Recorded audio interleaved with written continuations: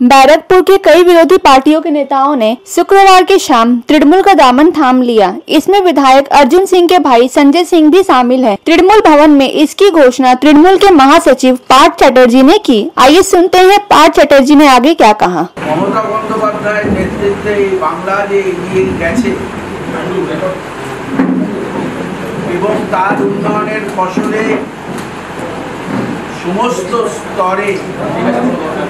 যে উন্নয়ন তা চোখে পড়ার মতো কেন্দ্রীয় সরকারের জনবিরোধী নীতি দেশকে ভাগ করবার চক্রান্তের বিরুদ্ধে সমাজকে দ্বিখণ্ডিত করবার যে চেষ্টা তারা করছেন তার বিরুদ্ধে আজকে